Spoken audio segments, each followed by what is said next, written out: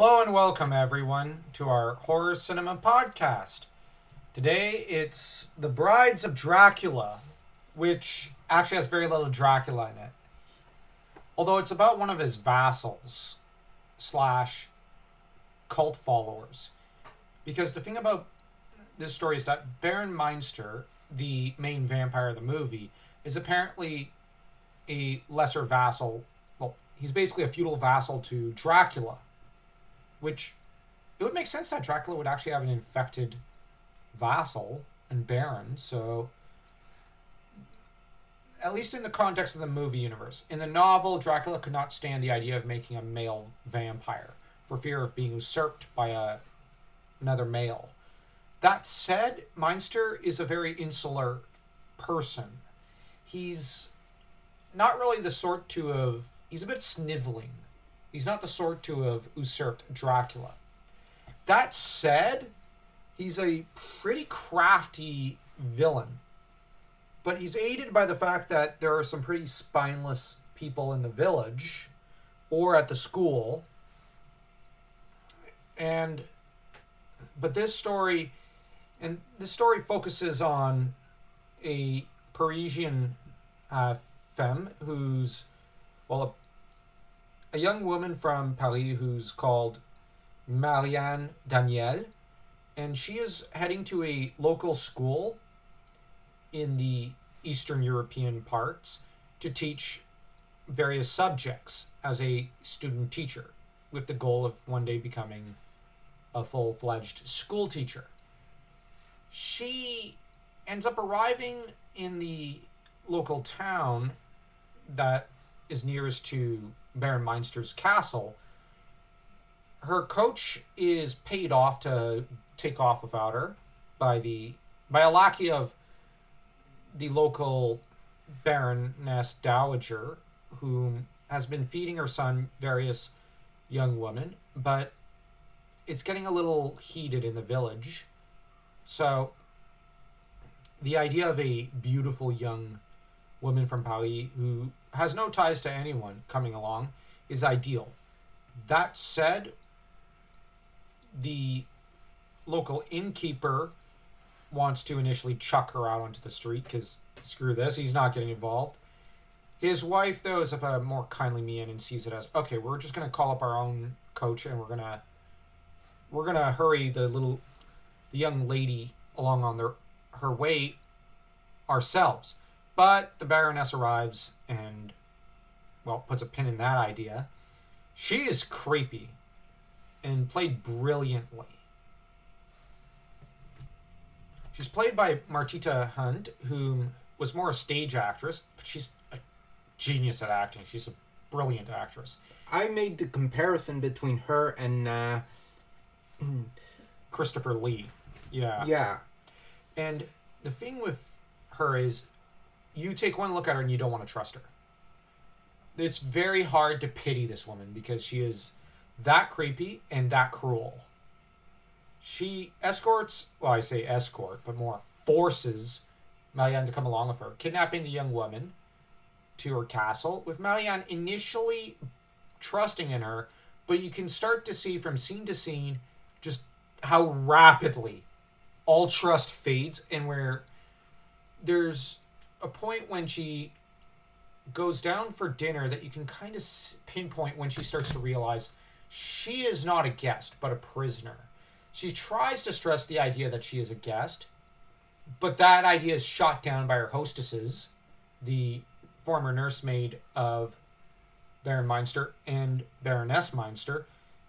She still tries to be polite and civil to them, realizing her life is quite frankly literally in their hands. She decides that if the Baroness is this um, untrustworthy, it's best to set free the son, whom she was told was a monster. The son turns out to be, yes, a monster. Marianne, frightened by him and by the screams of the Baroness in the Baron's room, and by the creepy behavior of Greta, the servant woman, takes off into the night probably Marianne is probably one of the smartest and most most resourceful horror queens, screen queen, queen characters of all times.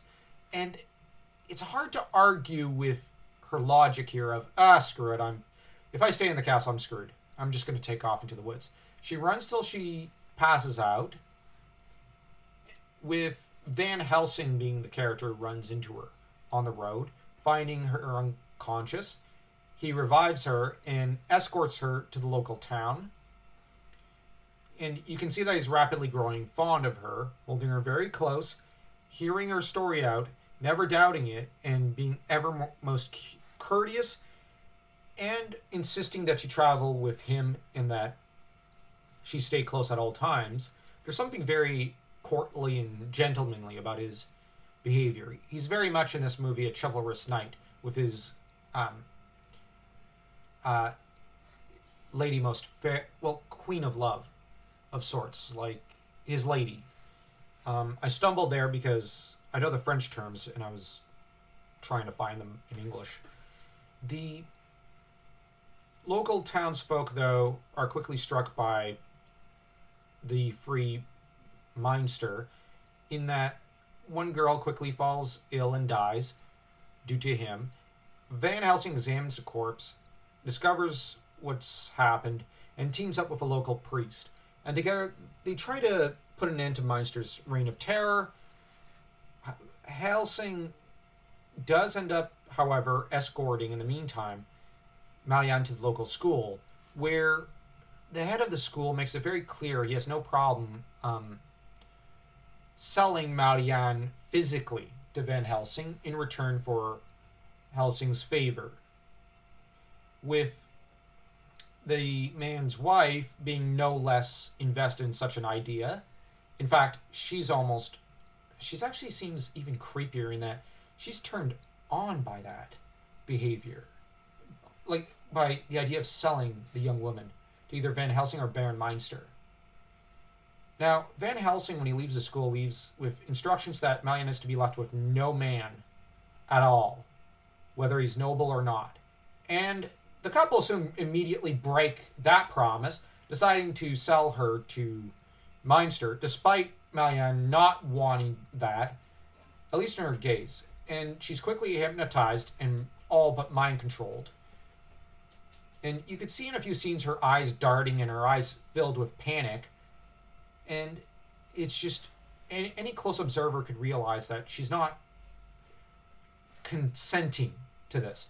But Meinster claims that they are to be engaged, as he's never seen a beauty like Marianne. Honestly, she's probably the most beautiful hammer babe, so to speak, there's ever been. And the couple, though, who run the school, are keen to sell her off to the highest bidder.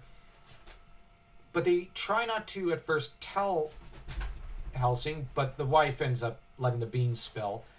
In turn, though, one of their other student teachers gets struck down by Meinster, with Helsing finding that out after he's purified, I guess you could say, the Baroness Dowager, or what was the Baroness Dowager. And from there, Helsing tries to extract as much information as possible without giving any info over. That said, the young lady is chased off by Helsing, and Helsing has to then try to track down Meinster and tracks him down to the old mill thanks to Marianne after Helsing shakes her out of the mind control. And she she ends up divulging the information struggling against the hypnotism. And it's a really good scene that harkens back to the novel when Mina's trying to shake off the mind control of Dracula in a few scenes because she agreed to be hypnotized and you just kind of have her connected to both Van Helsing and Dracula and it's really really interesting in the novel seeing her waver and struggle against the control of the count, but still finding a way to screw him over and stay true to the heroes. Marianne, though, is kind of in this position.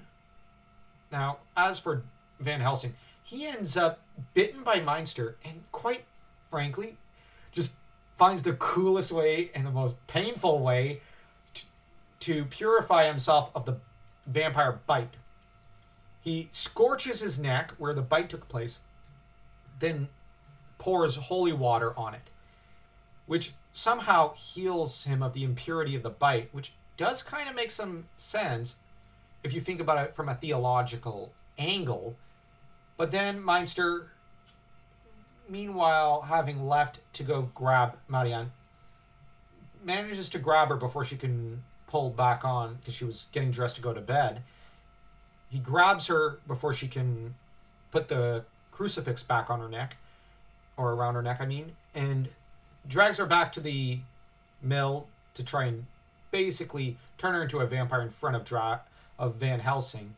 Excuse me, there, in front of Helsing because he wants to basically taint her in front of the man she loves, and he doesn't quite count on Van Helsing having been preparing himself for this, who then proceeds to scorch his eyes out with holy water after he tries to mind control Marianne once more. And Marianne and Van Helsing go to escape. Meinster sets the building on fire, trapping his own brides. Not that he cares. Van Helsing then takes them down with the cross shape of the windmill part of the mill, which is pretty interesting. Then he goes down and finishes the job, and we are left with the knowledge that he'll probably ride off into the sunset with his lady fair. So this is probably the most romantic of the Dra- Hammer Dracula mo- movies. Like there are others where there are romantic pairings, but none of them feel quite as true or as romantic or beautiful as this one. No other female lead quite ca- manages to measure up to Mina from the novel like Marianne does. Nor is there any hammer babe, so to speak, who's as beautiful as Yvonne Monlaur, who plays the character of Marianne Daniel. And no male lead quite measures up at any point to the heroism, the dashing uh, gentlemanliness and piety and greatness of Van Helsing, played by, of course, Peter Cushing. In this movie, it's probably the. i- i- there's also almost no villain who measures up to Baron Meinster in some ways. In some ways. It. Although Dracula a few times measures up quite well, this movie is probably the best of all the Hammer movies. I'm gonna rate it a four. I'm I'm right on board with that. A four. This is one of my favorite movies of all times. We can't rate it any higher. It's perfect. There's it's hard to name a single horror movie that can stand up to it. I don't think there is any. The hero is perfect in Van Helsing. The female lead is plucky and resourceful and beautiful and dashing in her own way. She's perfect. The villain is perfect. The horror is perfect. But there are supporting characters like the priest or the innkeeper's wife who are heroic in their own smaller, no less impressive ways. But then you got some of the supporting characters who are almost villains in their own right, such as the innkeeper or the school head and his wife. But then you got some victims who are just so pitiable, like Marianne's one school teacher friend, or heck, even the school laborer slash stable master or janitor. He seems like a really nice guy with a quirky sense of humor, but he dies. And you actually kind of feel bad when he dies, going, he, he was just at the wrong place at the wrong time. So this is a perfect movie. You want horror? Go and learn from this movie. It's not over the top slasher, Vank Evans. but it's more cerebral. It's more psychological. Yeah, because the first 25 to 30 minutes or so, you have a battle of wits between Marianne, the Baroness Dowager, and Meinster. With the three of them, you could see them basically dueling with each other, with basically all of them trying to come out on top and trying to survive against each other. But then you have later, it's Van Helsing and Marianne trying to wage their own battle against Meinster using their wits. And you actually feel bad for Marianne when she's basically mind controlled, and mm-hmm. you've got the her basically trying to communicate in subtle ways, and with her eyes, to the main couple who run the school, you know, like free me. This is not what I want, and them cackling and already counting their coin. It's just you wonder if they're running a school or a brothel, and it's just so horrible. I, on that note, I couldn't help but think of. I know I mentioned the colors that she wore in at first, the white and the pastel pink. Yeah, which are colors of purity and femininity. Basically, she's a virginal girl. And you contrast that to not just Baroness. Uh, The Baroness's dark colors and purple. you also have when Marianne is under possession, she also wears such darker clothing. Well, she wears crimson red, which is a the same color as blood and passion. And that's the color she's wearing when Van Helsing saves her. And you've got Van Helsing who's dressed in dark pants and a white shirt. But he also wears his usually I think gray or dark colored jacket. So There was a lot of attention to detail. yeah, in the decor, in every building and scene, and in the dress of the characters, so and their raiment, so that this movie just does not leave a single detail out. It, and if you enjoy this movie, you should probably also get the novel, as there's a brilliant novel. We might make that the next year's horror book club podcast focus because it's a really good novel, though it's not as great as say the original Dracula novel or the Frankenstein novel, but it's perfect in its own right. And if you enjoyed this video, don't forget to smash that like and that subscribe button. And have a great horror filled night.